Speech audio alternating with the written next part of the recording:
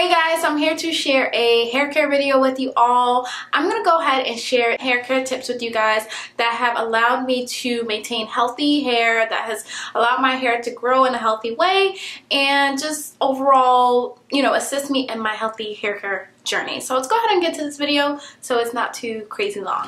Alright guys, if you are a returning subscriber, you already know what I'm to say.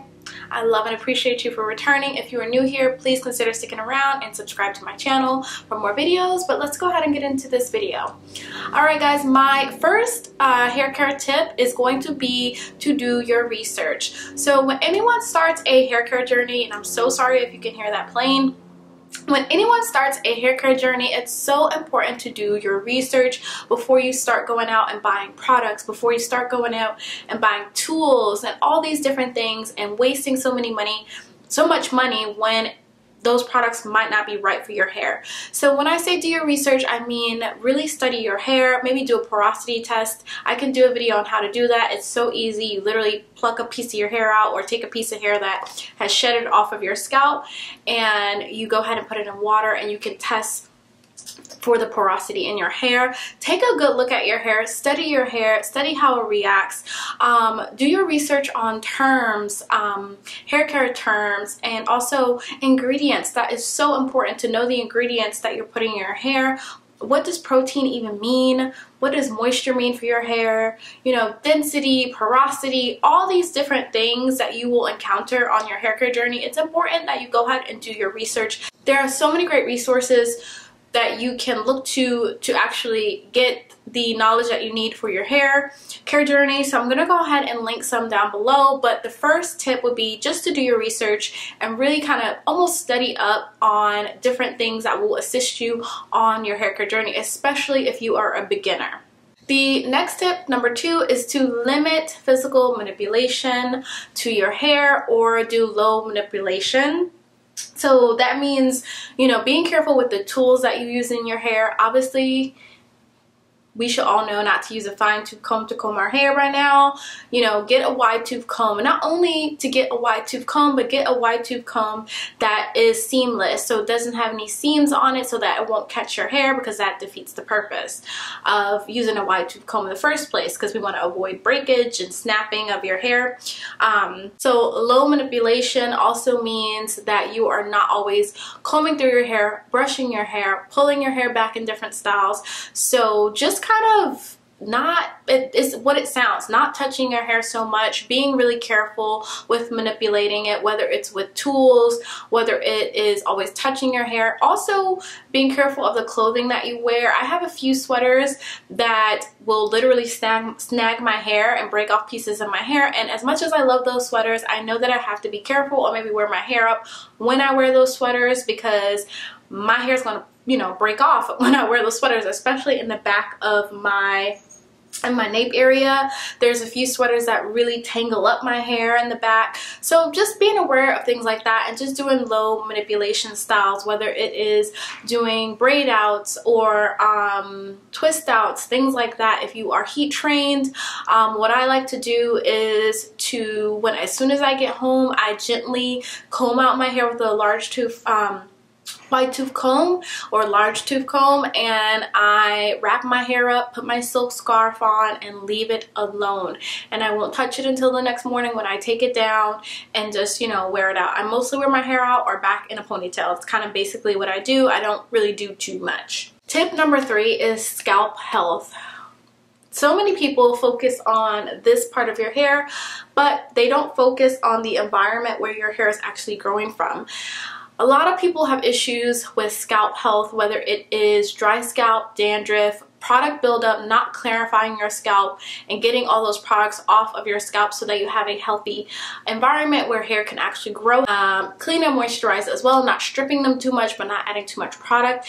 Also knowing your scalp environment and just what your scalp likes. So for me, I have a very oily scalp and it's very flaky. I have an issue with flakes on my scalp.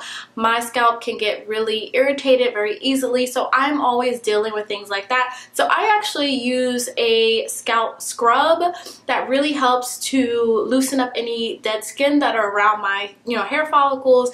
I use a scalp mask even that I really, really love. You can go ahead and you steam your hair. There's so many things that you can do to ensure the health of your scalp. Um, make sure that when you are washing your hair, you are clarifying your scalp. And I'm not saying every time you wash your hair to use a clarifying shampoo, but sometimes you need to clarify your scalp with a shampoo that's going to strip all of those, you know, products that we you know put on our hair so yeah definitely scalp health and that also goes hand in hand with your research and knowing about your hair knowing about your scalp and things like that Number four is to know that hair, a portion of it is genetic. So to know and understand that hair also comes down to genetics. A lot of the time, you know, people's hair will grow really fast or be really thick. You know, the density of their hair will be, really, really thick because of genetics. You know, there's some people who have thin hair. There's some people who have really thick hair. There's some people whose hair grows really fast. So some people whose hair grow at a slower rate um, you kind of just want to work with what you have and love your hair. Don't covet, you know, other people's hair or their journey with their hair. Um, for me personally, my hair does grow very fast. I just have a really big issue with shedding. My hair sheds like nobody's business and I also have scalp issues. So we all have our issues. So yes, my hair grows fast. Um, yes, it's pretty thick, but I do have my own set of issues that I deal with. So everyone will have their own issues and things like that, but know that hair for the most part is also genetic. So understand that too when you go into your hair journey and don't think that you're gonna go ahead and do you know a b c and d that this person is doing and get the same results or have your hair look exactly like that person. You know everyone's hair care journey is personal and specific to them. My next tip is don't go out and buy you know the whole kitchen sink, everything at once. Introduce products in your hair just like you do with your skincare. Introduce products one at a time. Introduce products slowly so you know if it works for your hair.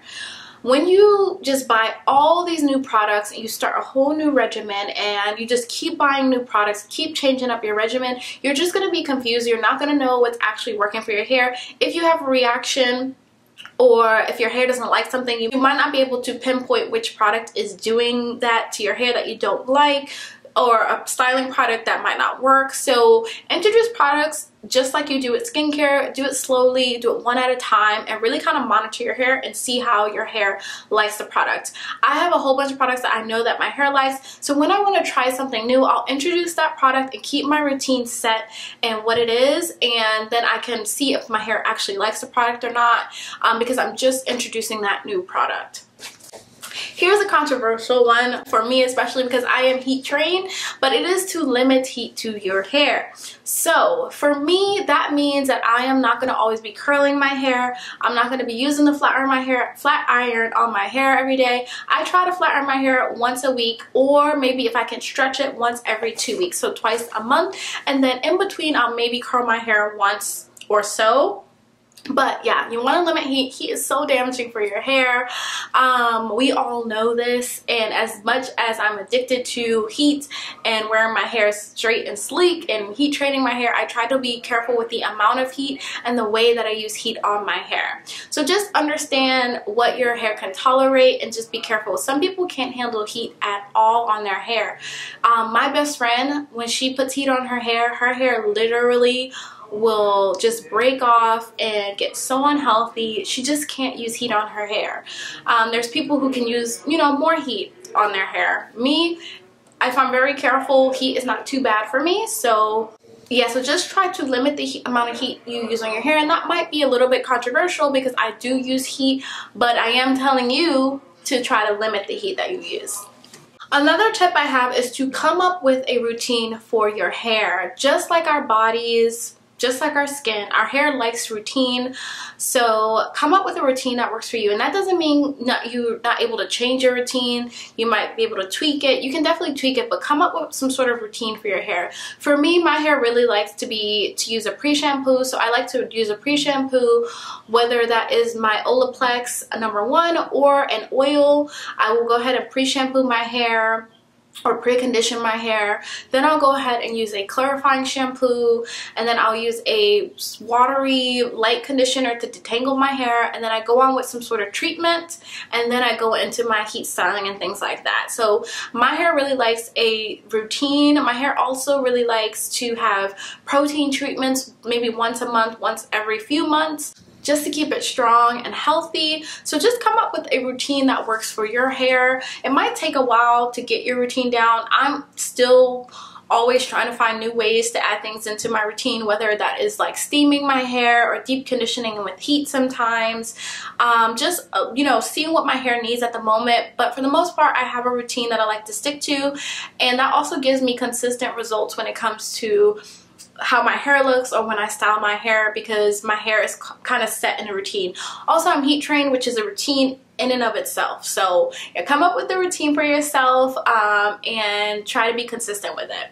A, another tip I have for you is to protect and moisturize your ends. Now, this is especially important for people who want to maintain length or who want to retain length. So if you are on a hair care journey where you are growing your hair out, you will not retain your length if you are not protecting your ends. It is the oldest part of your hair Normally it's the driest part of your hair. It's the part that easily breaks off. So you want to be careful and you want to moisturize your ends.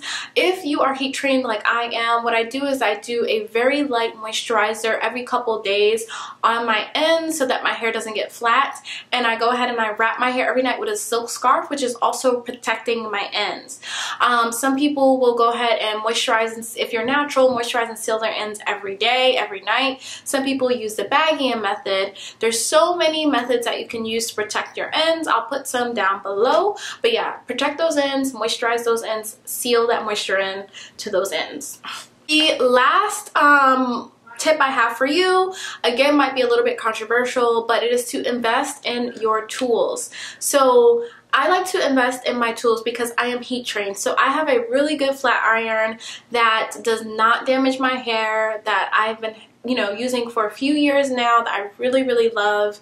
And also I have the Dyson blow dryer which I absolutely, absolutely love. So I've um, invested in a couple of hair tools. Even my curling iron is a really nice curling iron that I love. And so I believe investing in your tools and the quality of what you use on your hair will also affect um, the health of your hair because it's not going to be as damaging. They're made a lot better. They have technology that also help to protect your hair. So yeah, I believe in investing in your tools some people may say no, invest in your products. I do believe investing in your products, but I don't invest in conditioner or shampoo. I normally will invest in maybe a treatment or something like that or a deep conditioner. That's normally what I will invest in, but not so much a shampoo or conditioner, but I also will invest in my tools.